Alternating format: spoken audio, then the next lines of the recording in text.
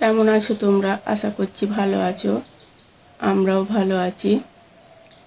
তো আমি চ্যানেল হয়তো বলেছিলাম যে ডিলেট করে দেবো। আমি বলব না যে আমার খুব রাগ হয়েছিল বলে তোমাদের বলেছিলাম যে চ্যানেল ডিলেট করে দেবো। আমার খুব কষ্ট হয়েছিল। না কি হয়েছিল সেটাও আমি বলতে পারব না তোমাদের।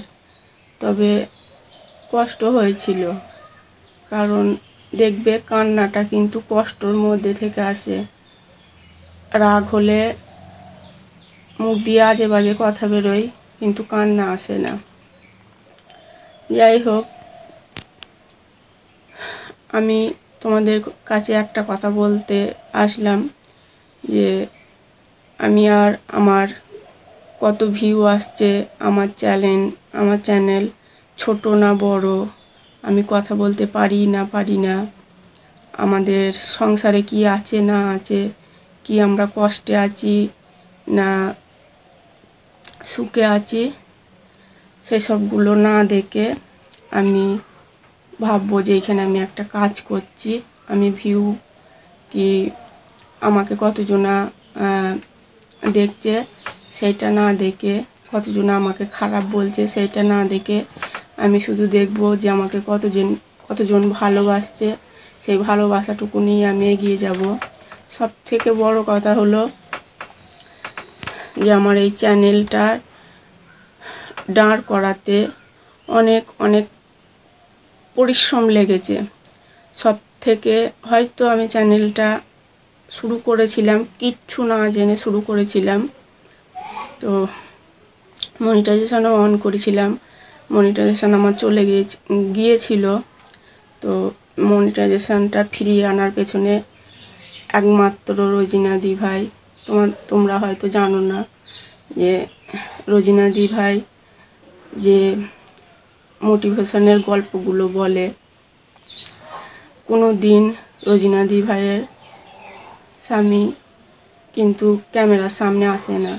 তোমরা জানো না যে আমার এই চ্যানেলটার অ্যাড ফিরিয়ে আনার জন্য রোজিনা দি ভাইয়ের হাজব্যান্ড কতটা চেষ্টা করেছে। রোজিনা দি ভাই আমার সাথে ফোনে থেকে থেকে রোজিনা দি ভাইয়ের হাজব্যান্ড কতক্ষণ করে চেষ্টা করে করে দেখেছে যে আমরা ভুল পথে চলছি। চিঠিরা, চিঠির অ্যাপ্লাইটা যে দিতে হবে আমাদের আমার নামে যে অ্যাপ্লাইটা যাচ্ছে চিঠির, সেটা কোনো ইউটিউব গ্রাহ্য কেন করছে না? কারণ অ্যাক্সেন্সের নামটা আছে আমাদের ফাল্গুনির বাবার নামে। তো সেইটা কিন্তু ধরাট করেছিল একমাত্র রোজিনা ভাইয়ের হাজব্যান্ড তো তিনি পর্যন্ত আমাদের, যাতে আমরা একটু কিছু করতে পারি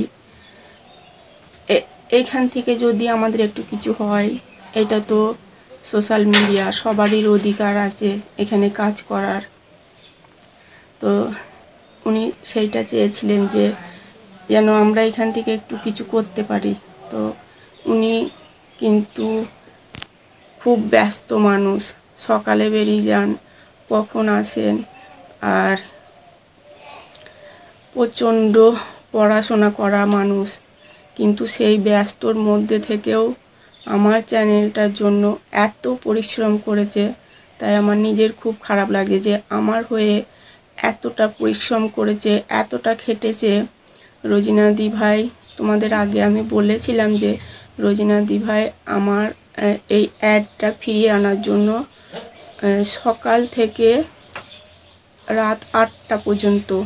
সেদিন যে আমি কতবার আমার অ্যাডটা সেদিনে একদিনে ফিরে এসেছিল। সকাল থেকে রাত পর্যন্ত যে এত খেটেছে এত খেটেছে, আর ফোনে আমার এতবার ফোন করেছে মানে আমরা দুজনা যে পরিশ্রম করেছিলাম, আমার দ্বারাই কিছুই হতো না। দিদি ফোন করে করে, ফোন করে করে, এই করো, ওই করো, দিয়ে একটা ফিরিয়ে এনেছি।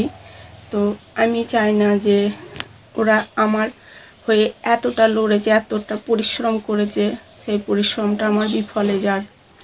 তো তার জন্য আমি দিদিভাইয়ের মুখ, মুখের দিকে তাকিয়ে তোমাদের ভালোবাসা, যারা আমাকে ভালোবাসো, যাদের, যারা আমাদের ভিডিওগুলো দেখো, একশো হোক ভিউ আমার, একশো, দুশো, তিনশো যাই হোক, তোমরা আমাকে নিশ্চয়ই ভালোবেসে আমাদের ভিডিওগুলো দেখো। শুধুমাত্র তোমাদের জন্য আমি আসব, তোমাদের জন্য ফিরবো, আর এর থেকে আমি আর বেশি কিছু কথা বলতে চাই না। তবে এইটুকু তোমাদের আমি কথা দিতে পারি। ভবিষ্যতে আর কোনো দিন আমি কোনো যাই হোক, চলো তা আর আমি বেশি কিছু বলতে চাইছি না। আর কালকে মানে আমার চ্যানেল ডিলিট করে দেবো। এই ভিডিওটাতে অনেকজন অনেকজন আমাকে ভালোবাসা দিয়েছ, আমাকে বুঝিয়েছো যে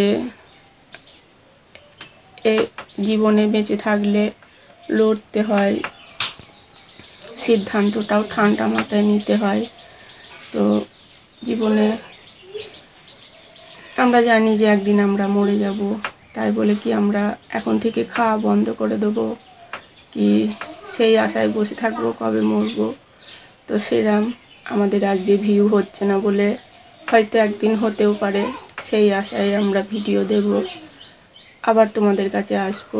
আর তোমাদের অনেক অনেক ধন্যবাদ আমার পাশে থাকার জন্য, আমাকে এতটা ভালোবাসার জন্য, আর আমাকে এত ভালো ভালো কমেন্ট করার জন্য। কালকে আমাকে যারা যারা কমেন্ট করেছ, আমার ওই ভিডিওটাতে যারা যারা কমেন্ট করেছ, তাদের অনেক অনেক ধন্যবাদ জানাই। আর ওইখানে আছে, অনেকে আছে আমি ভেবেছিলাম যে তোমাদের নিয়ে একটা ভিডিও বানাবো, কিন্তু আমার ভয় লাগল যে তোমরা যদি খারাপ ভাবো, তাই তোমাদের পারমিশন ছাড়া আমি তোমাদের নিয়ে ভিডিওটা বানালাম না। তোমাদের কমেন্টগুলো নিয়ে আমার ইচ্ছা ছিল একটা ভিডিও বানানোর, যে তোমরা আমাকে এতটা ভালোবাসা দিয়েছে, দিয়েছ। তোমাদের কমেন্টগুলো আমি তুলে ধরতে চেয়েছিলাম। ওইখানে আমার অনেক দিনকার একটা প্রিয় দাদা আছে। বাংলাদেশি দাদা। খুব আমাকে অনেক দিন থেকে দাদা লাইভে আসতো। ভোরবেলায় আমি লাইভে দাদার সাথে অনেকক্ষণ কথা বলতাম। তো সবার আমার খুব ভালোবাসা দিয়েছ, আমাকে বুঝিয়েছো। আর আমাদের এখানেও একটা ভাই আছে, ওই ভাইও ইউটিউব করে। ওই ভাইও বলেছে যে তোমার চ্যানেলের তোমাকে, তোমার ভিডিও দেখে সাবস্ক্রাইব করেছিলাম। তুমি আজ মুখে বলছো বলে তো সাবস্ক্রাইব তুলে নেব না। তো এইসব কথাগুলো আমার মনে ছোঁয়া দিয়েছে, আমার খুব ভালো লেগেছে। তো চলো এরমভাবে আমরা পথ চলবো আর একে অপরের পাশে থাকব। আজকে হয়তো আমি সেরাম ধারা কিছু বুঝি না, কিন্তু আমরা যারা ছোট আছি, আমাদের যাদের ছোট চ্যানেল হয়তো চলো তোমাদের আমি এটা জ্ঞান বলব না। আমি যতটুকু বুঝেছি, তোমাদের একটা কথা বলি। আমরা সবার সবারই ভিডিও দেখব। যাদের চ্যানেল আছে, তাদের কথা বলছি। সবাই সবারই ভিডিও দেখব। কিন্তু আমার অনেকের সাবস্ক্রাইব করা আছে। হয়তো সবারই ভিডিও দেখা সম্ভব হবে না।